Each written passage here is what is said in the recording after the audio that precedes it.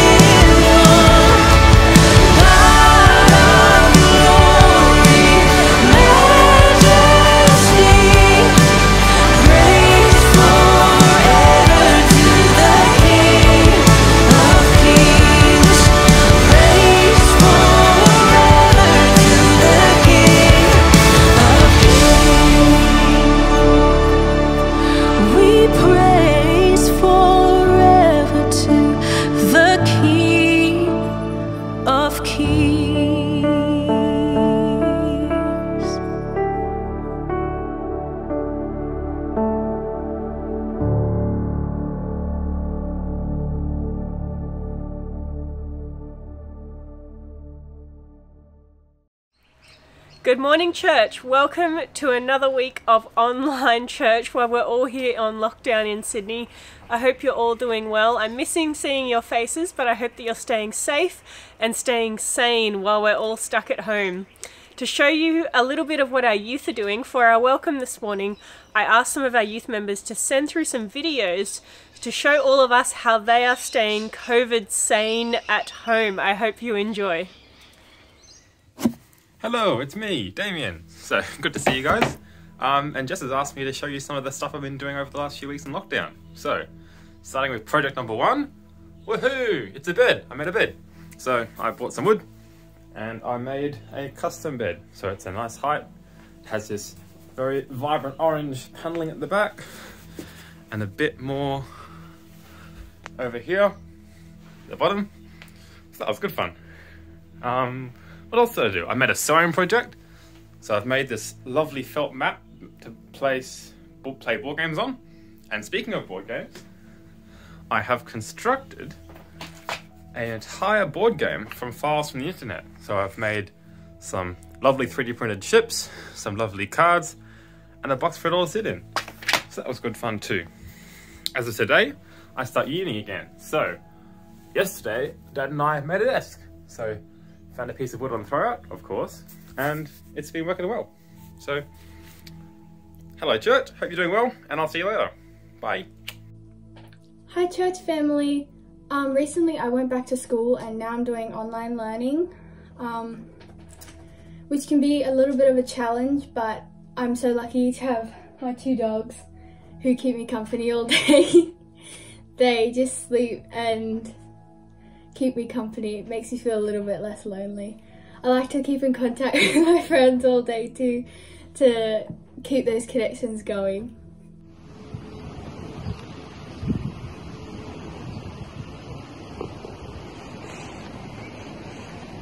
Hi Castle Hill Church family. Um, for those of you who don't know me, my name is Janet Shin and I'm one of the youth here at Castle Hill Church. Um, so during lockdown I have been taking up a lot of golf. Um, it's been really fun and I've been improving heaps. It has still stayed open so I've been able to play a lot, um, especially during my uni break.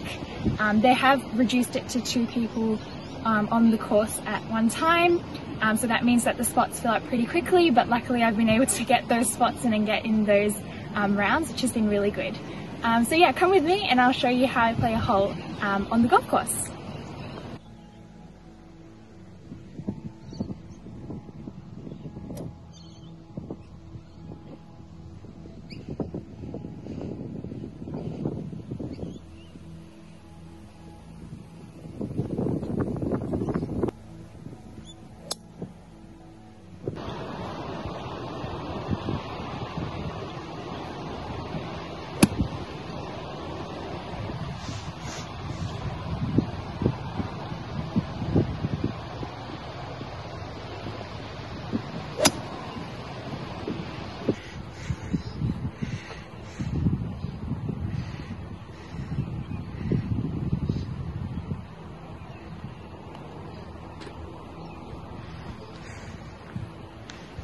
So yeah, that's the hole. Um, hope you also have a chance to have lots of exercise and enjoy the sun. And um, can't wait to meet you all again once COVID lockdown and COVID restrictions ease. Um, in the meantime, bye. Now let's watch the party do it.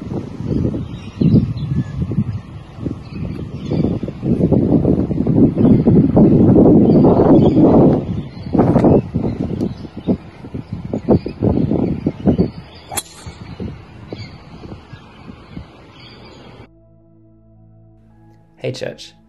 During lockdown, I've decided to learn a new language to keep myself busy. So for the last couple of weeks, I've been doing some online Arabic lessons, and today I just wanted to show you what that looks like. I've been using a website called Duolingo, and each module begins with a short lesson which either covers new vocabulary or teaches you how to read the script. Each individual letter can have a different shape depending on whether it's found at the start, middle, or end of a word, and this can make learning Arabic pretty tricky. But eventually, when you learn the alphabet, you can start to read words such as in the following slide. دكتورة فرنسية من باريس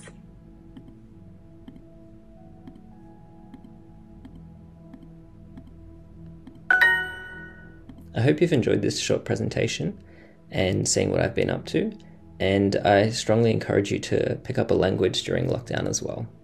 Hi everyone, hope everyone's doing well during this time in lockdown. I miss going to church and seeing everyone's face um, and just social aspect of it all. What's keeping me sane during this lockdown is taking my dogs for walks, as you can see. And yeah, I hope to see everyone very soon. Bye for now. everybody. Um, we had 85,000 tests Uh, uh, good morning, to 8 p.m. everybody. last night. Um, There to 8 were p.m. last night, we had more than 98,000 people come forward to 8 p.m. to get last night. tested. Not only is that close Unfortunately, to those those cases were 1,000 but on the weekend.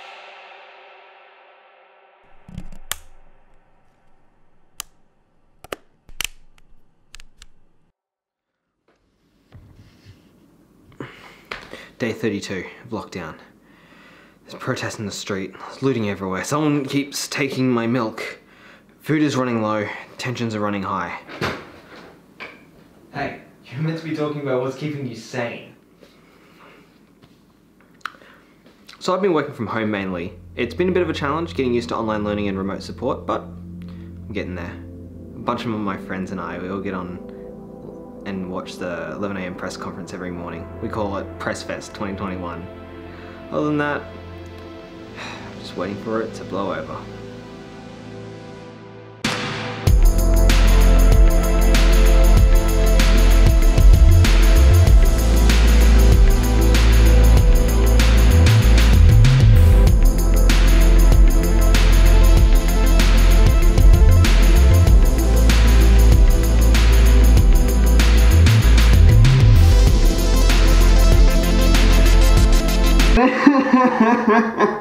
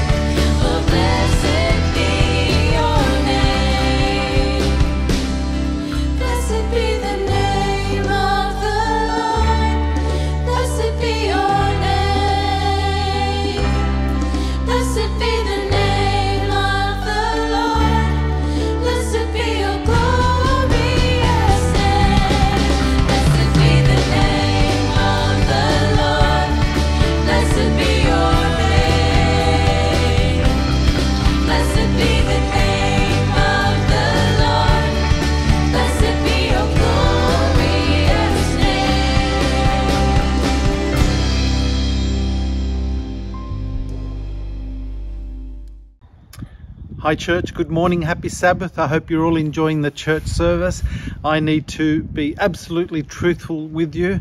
I miss church. I miss us gathering together, worshipping, singing, praying, just mixing with you all. I really, really miss you and I pray that you're well, that you're looking after each other. I do have something I want to put to you. We have a family that I'm helping and they're desperate for a computer or two.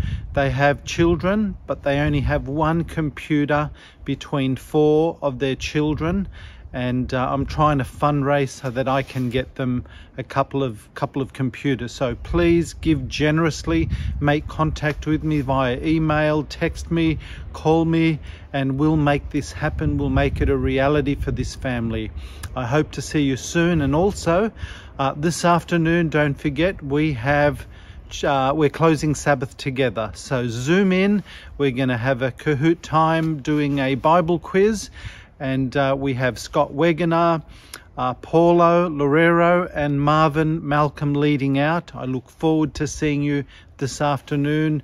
We started at 3:30, where people can just connect together and mix and get to know each other and catch up. And then at four o'clock we start officially. God, bless you. We'll see you soon. There's a saying that at all times preach the gospel, but when necessary use words. The Logan slogan is um, caring, helping and supporting.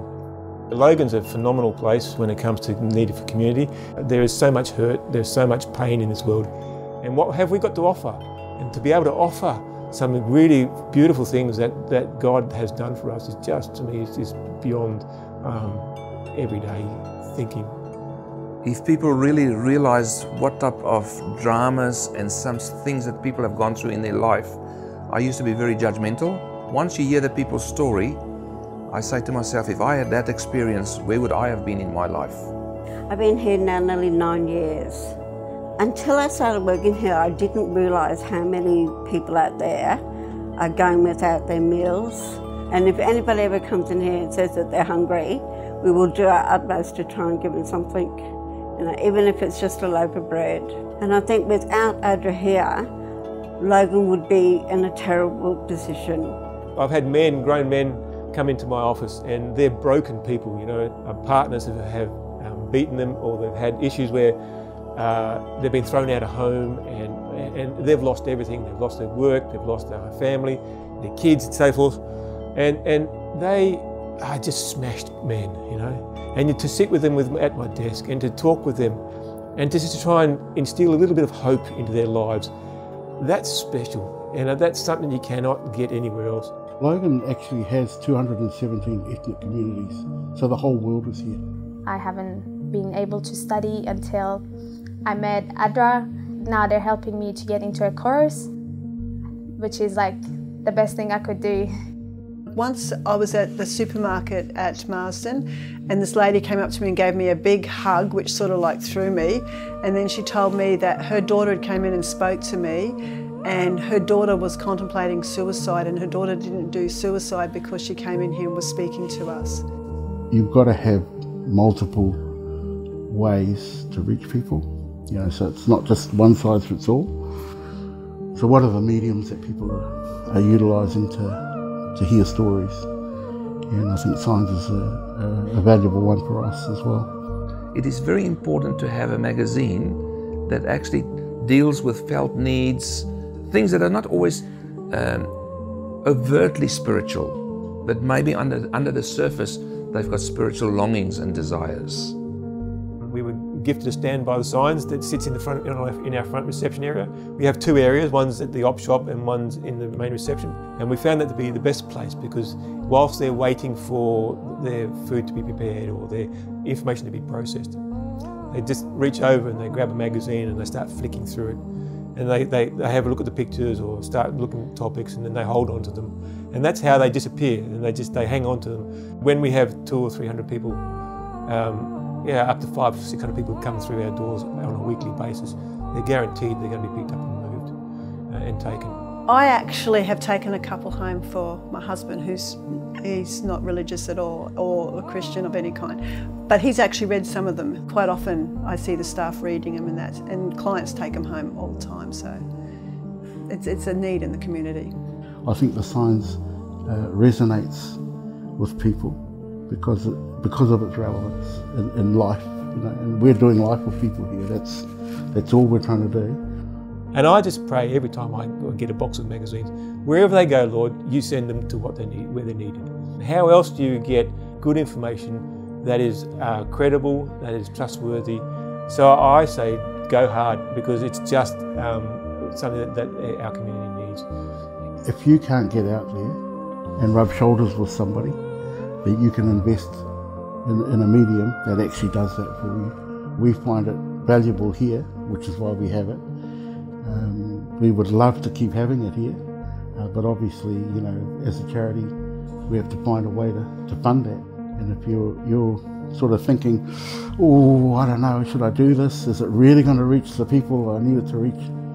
It certainly does. And, um, you know, we'd love to continue to have signs here um, as long as we're in operation.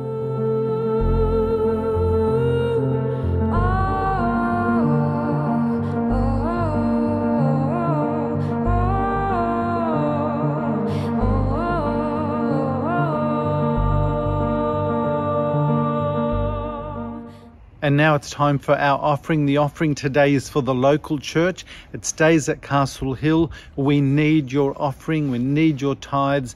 The offering is to help us to do our work, to minister to those in our community, to keep our production going and uh, to be ready to help anybody that is in need in our community, in our own church. Please give generously. Go to e giving.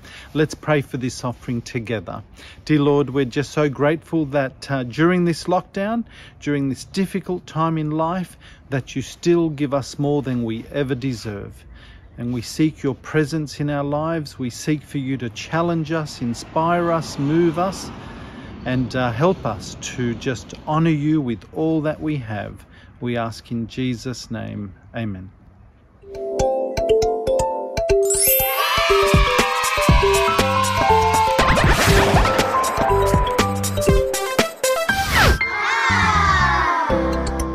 Hey kids, happy Sabbath. I want to ask you something. Do any of you ever worry? Do you feel stressed, alone, scared? Well, today I want to tell you the story of a little boy named Trevor. Trevor was just a regular kid. He went to school, he had a lot of friends, he liked to play sport, and he was just happy. And that is until one day his mum got really sick, and Trevor got really worried.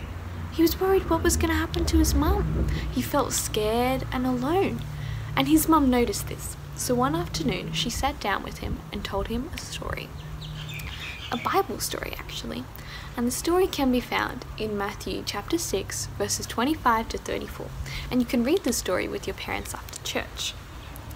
Trevor's mom told him that no matter what happens, Jesus is always there for us. He will always love us, protect us, and care for us. That night, Trevor went to bed and he asked Jesus. He asked Jesus to give him the courage not to worry and the strength to give all his worries to God. And guess what, kids? That's all we have to do. We just have to pray and ask God to take away all of our worries and help us get through it. And He does. He does help us. So the next time you feel worried or afraid or alone, just remember God is always there. The scripture reading today comes from Matthew 6 25 to 27.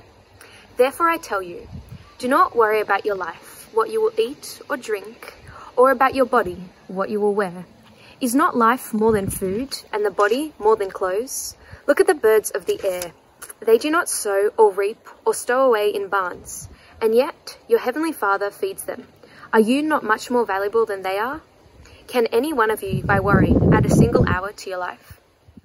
Let's pray. Dear God, thank you that we have technology so we can connect for church like this. Thank you that we have social media so we can stay in touch with all our friends and family that aren't with us. Please be with those who are finding this experience hard. Help us to remember what you teach us in the Bible, that you're always with us and we don't need to worry about anything. Please give strength to the students and parents who are doing online school as it's not easy. Thank you that we are safe and healthy and please be with those who are not. Amen.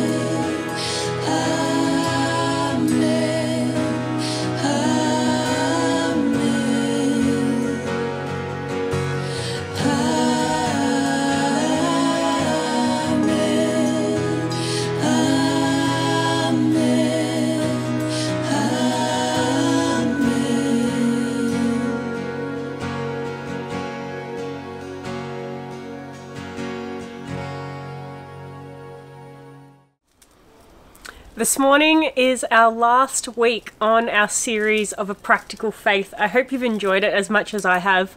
I always love learning about ways that we can apply our faith into the real life world, into our everyday, ordinary lives. Uh, it's been so great going through the Sermon on the Mount with you all over this time. There's bits of it we haven't even covered at all, so go through and have a read of the rest of it yourself.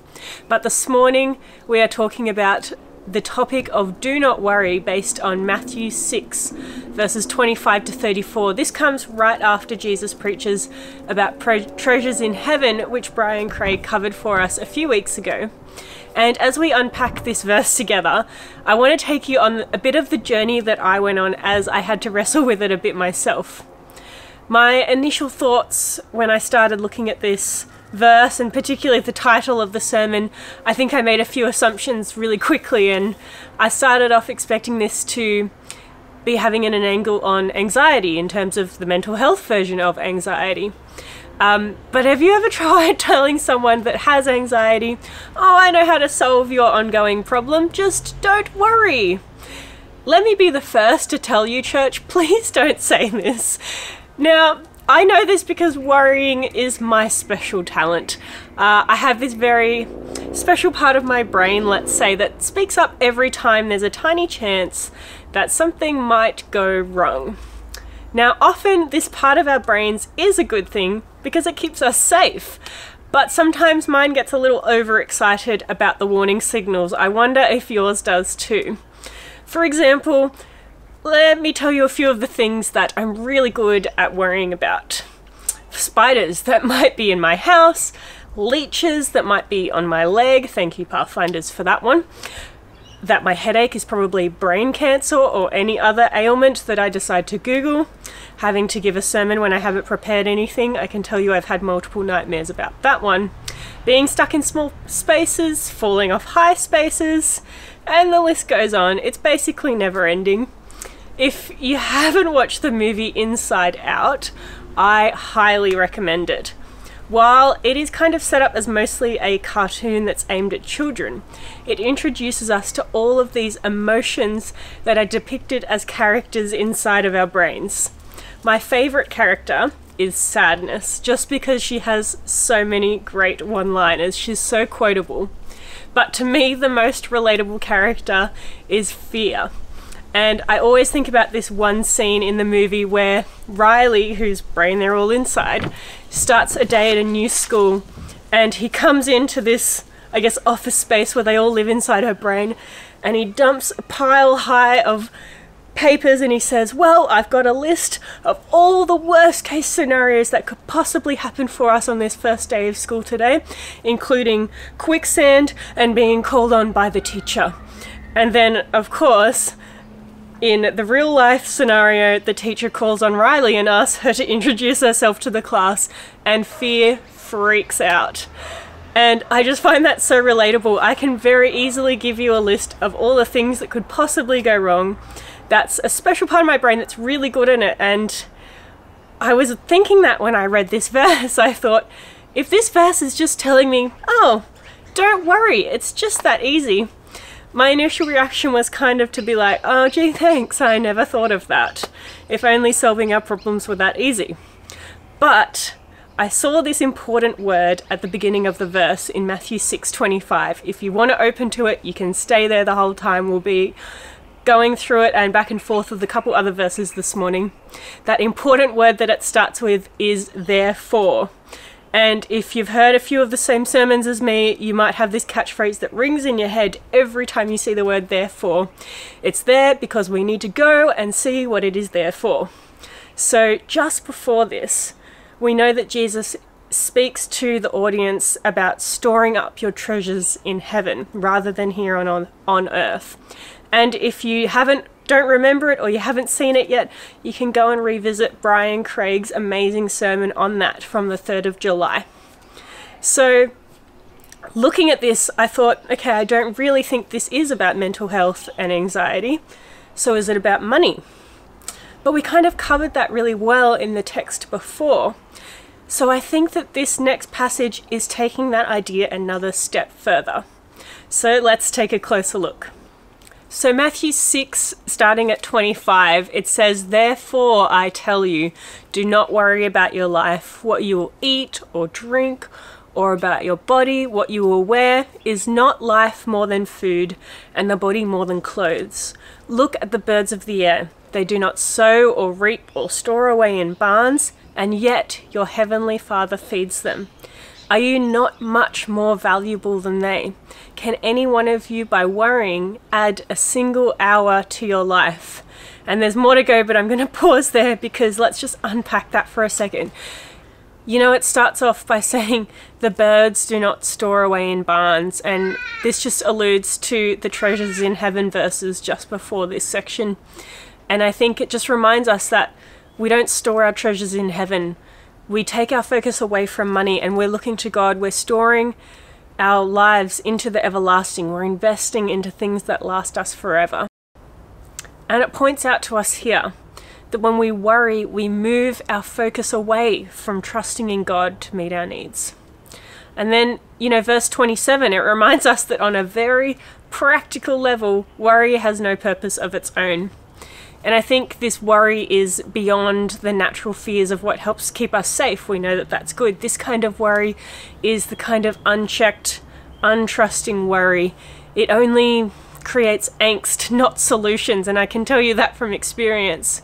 So we know that on a practical level, this kind of worry is not good, and I think that's why God tells us don't bother with this worry cycle because the worry cycle it just undoes any productivity in our lives.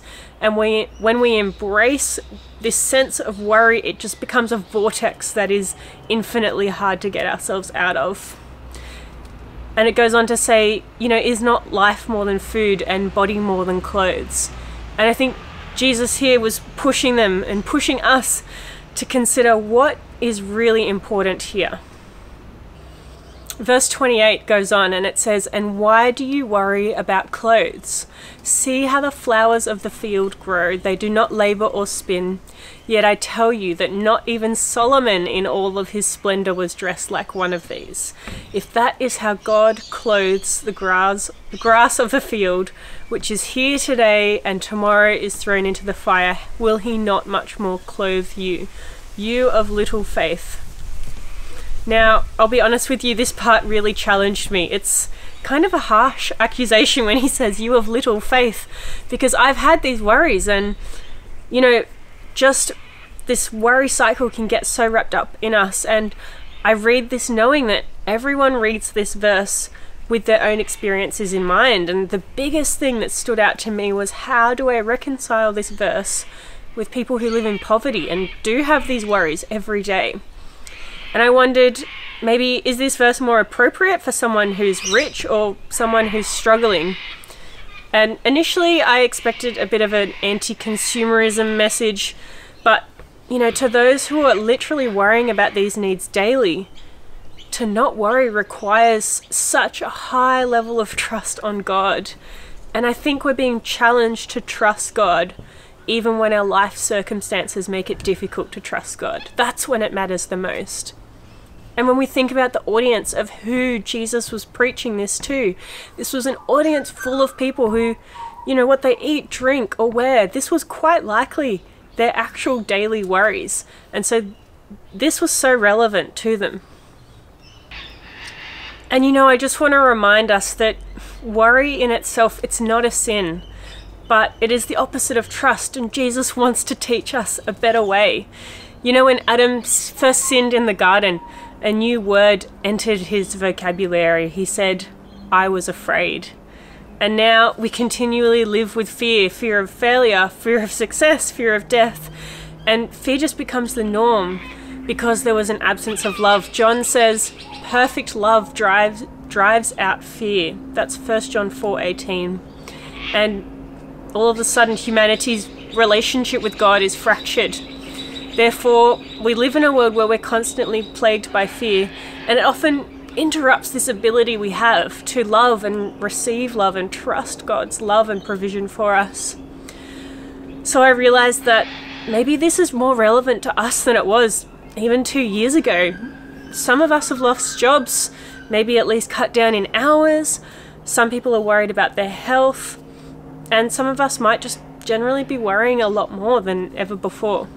Yet God is asking us to trust Him through our worries. So, verse 31 says, Do not worry, saying, What shall we eat, or what shall we drink, or what shall we wear? For, for the pagans run after all these things, and your heavenly Father knows that you need them. But seek first his kingdom and his righteousness, and all these things will be given to you as well. Therefore, do not worry about tomorrow for tomorrow will worry about itself. Each day has enough trouble of its own. Verse 32, it tells us the pagans, they run after, they worry about these things, and, you know, maybe they're right to worry about their lives. They don't have God. They don't have this hope that we have in this world. And all they have is their body today and just their current situation to enjoy it in. And I'm so glad we have more than today to hope in. We have this hope of eternity in us.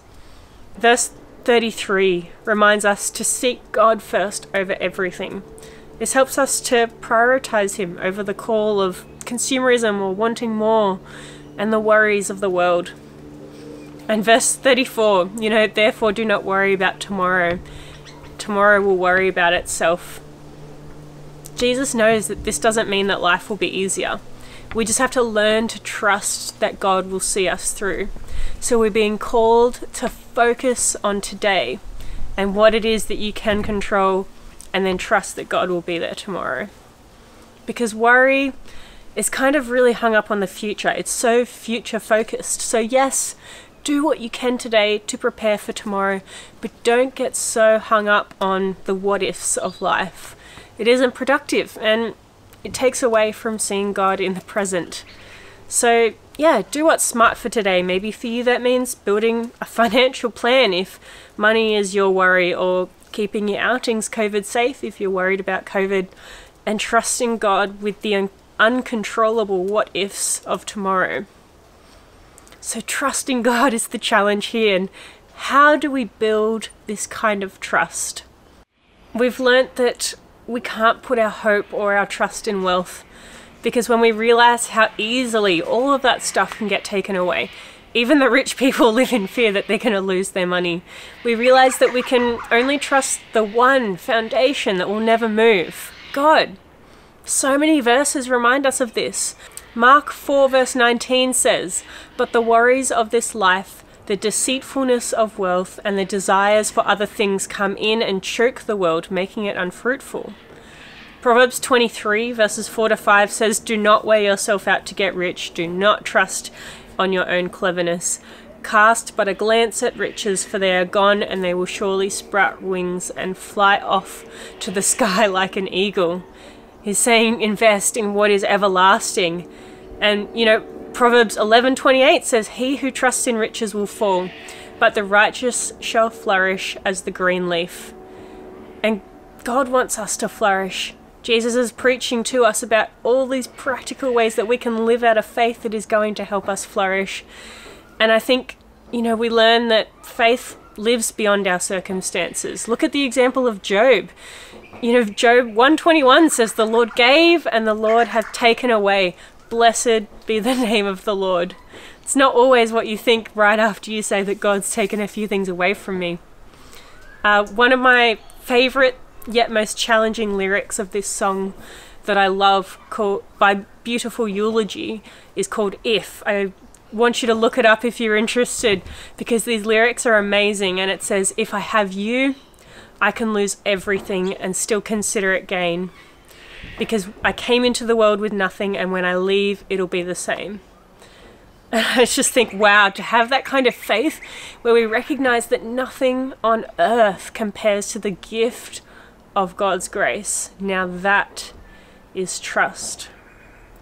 1 Timothy 6 says, But godliness with contentment is great gain, for we brought nothing into this world and we can take nothing out of it. So, how do we hold trust over worry? I want to leave us with five suggestions based on this passage. I'm a practical person, so let's get practical. First of all, focus on eternal matters instead of temporary ones. I think developing this perspective really helps us. And when we consider the therefore in verse 25, we know that eternal matters are more important than the temporary matters. Matthew 6:33 reminds us seek first God's kingdom and his righteousness. That's the matter that we focus on here. Secondly, let's focus on God's providential care. Verse 26 reminds us to look at the birds of the sky. You know, they do not sow, reap, or gather into barns, yet your heavenly Father feeds them. Aren't you more valuable than they are? Let's think about birds for a minute. Now, they don't have any farming strategies. They don't sow or reap. Most of them don't store any food from one day to the next. And birds need a lot of food. The average bird actually needs to eat between a quarter and half of its body weight in food every day. they use a lot of energy flying, I guess. They essentially need to find food every day or they're not going to make it through to the next night. It would seem they have a lot to worry about, but look at them, or listen to them. How often are you up at 3 or 4 am?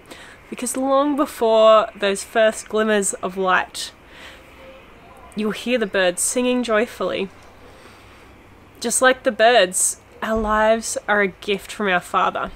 Imagine if they spent a lot of time worrying. Would it achieve anything? No, it would actually harm them. They'd try to carry their food around with them and they wouldn't be able to fly. They'd spend their life in their worries instead of going out in faith and looking to the Father. And we can't achieving achieve anything meaningful by worrying either. Because each day God gives us is a gift. So, third, let's recognize our great value to God. Verse 26 again, it says, Aren't you more valuable than they? And Romans 8, verse 31, verse 32, if we find it hard to believe that we are that valuable to God, it reminds us, it says, If God is for us, then who can be against us?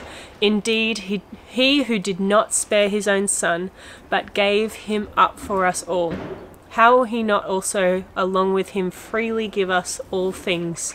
Hold to that promise when you find when you're finding it hard. Fourth, recognize that worry is unproductive. Verse 27 told us that worry will not add an hour to your life, other translations say, or a cubit to your height. So consider what you can control that will help you, and recognize that just stewing in the worry vortex isn't actually going to help at all. And lastly, focus on God's grace for today. Because verse 34 told us we know very well that each day has enough trouble of its own. We know that today we'll have trouble. The fact that Christ calls us not to worry is not based on the fact that believers are exempt from hardship. We're never given that promise. However, in the troubles, God promises to give us grace for the day. So, on this Sabbath day, let us take off the worries of the world and hold our trust in God, because His yoke is easy and His burden is light. Hey, church. Uh, what a great service it's been today from our, our youth. Um, and, you know, this whole theme of not worrying, I love it so much. It's such a good reminder for me. And so I'm going to sing for you guys a song that's been really helpful for me on this journey. It's called Every Little Thing. And um, I love just the, the simplicity of the song and just relying on God and remembering that when God's got it all in control, which He does, every little thing is going to be all right. So I'll just, uh, if you know it, sing along at home and um, let's just have a moment to worship God together.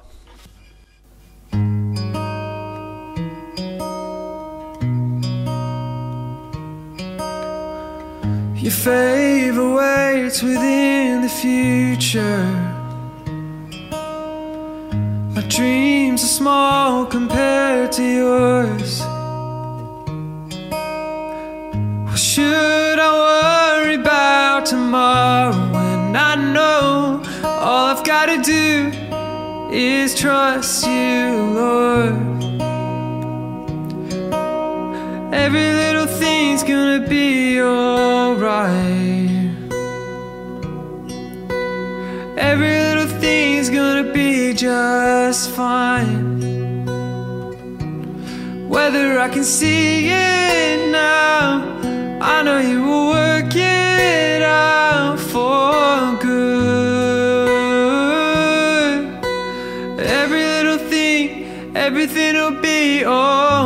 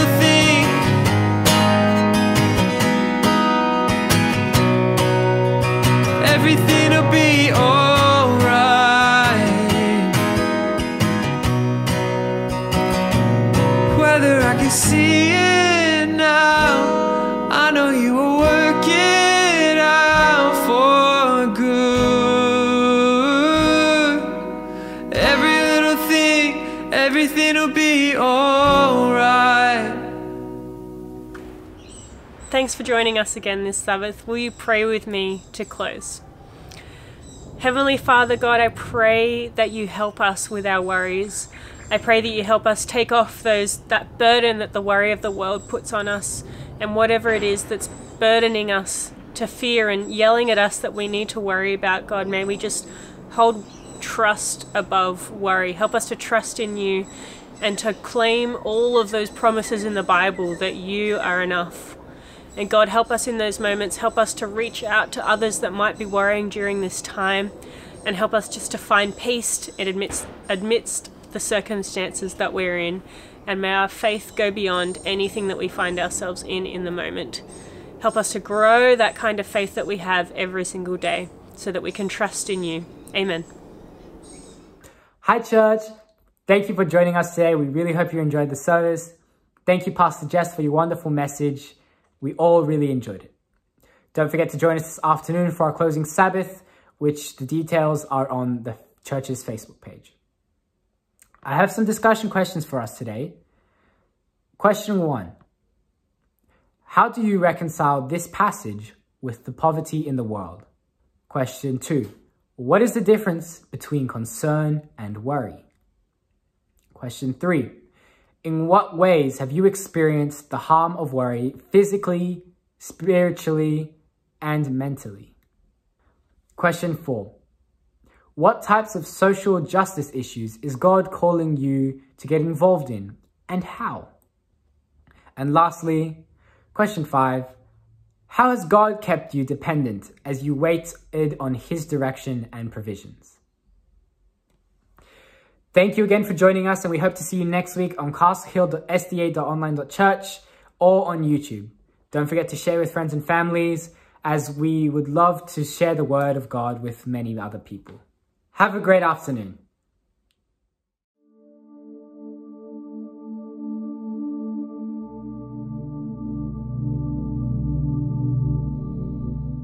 Nice to see you all. We've just been for a ride and uh, I just want to encourage you all to do as much exercise as you can during the lockdown. It's a lot of fun. Earlier on in the day we played some games together for family time, just try and invest in each other and do things. And always remember, let's keep on caring for each other. Ring someone at church, send them an email, uh, a text message, and uh, let's stay in contact. I know some people haven't been well of late and there's been some birthdays, but uh, we look forward to all getting back together sometime soon. Good to see you. Let's all wave goodbye and stay healthy and well and uh, walk, run, ride, whatever you can do to get outdoors. God bless. Bye.